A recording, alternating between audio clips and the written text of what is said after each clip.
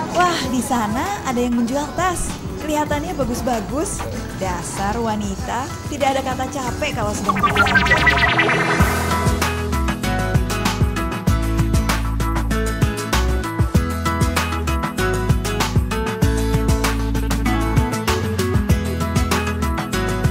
Namanya pasar kaget, pastinya hanya ada pada saat tertentu saja. Nah, pasar kaget yang berada di sektor 9 Perumahan Bintaro Jaya Tangerang ini buka hanya pada hari Sabtu dan Minggu. Wah wah, belum apa-apa, saya sudah lapar mata. Di sepanjang jalan yang saya lalui, berjajar aneka jenis barang dagangan. Mulai dari aksesoris wanita sampai binatang peliharaan. Dan yang paling menarik perhatian saya adalah aneka ikan hias. Kalau koi warnanya merah seperti ini tuh udah biasa. Jadi saya memilih koi yang warnanya agak-agak kemasan dan katanya sih kalau misalnya di sinar lampu warnanya lebih bagus.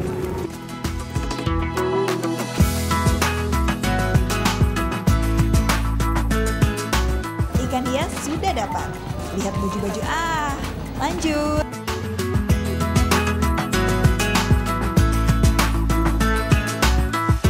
Wah, ternyata bisa langsung dicoba.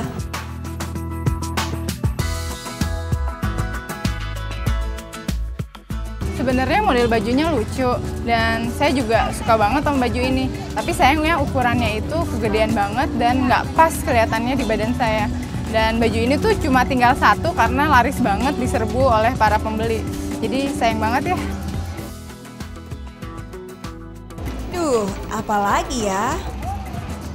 Wah, jamnya oke juga tuh. Hmm. Ah, digini aja deh, empat dua setengah dikurangin itu. Itu kurangnya udah dikit dikurangin. banget. Itu udah dikurangin tuh. 27 ya, 27 lah. Mas saya nggak dapat barang murah sih jalan-jalan di sini. Boleh ya?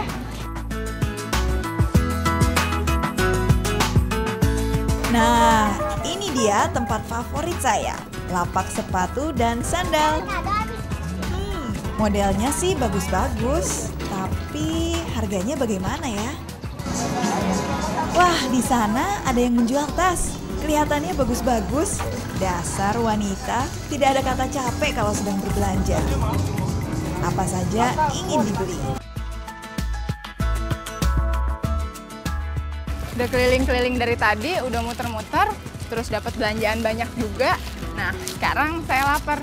Gimana kalau sekarang kita cari makan dulu?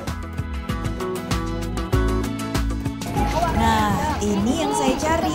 Lumayan mengenyangkan, tapi tidak terlalu berat di pagi hari. Jika biasanya ini ada bubur kacang hijau dan ketan hitam, kali ini ada tambahan bubur sumsum dan biji salad. Harganya pun hanya Rp5.000 semangkuknya. Namun, bagi yang tidak suka makanan ini, masih banyak kok pilihan lainnya.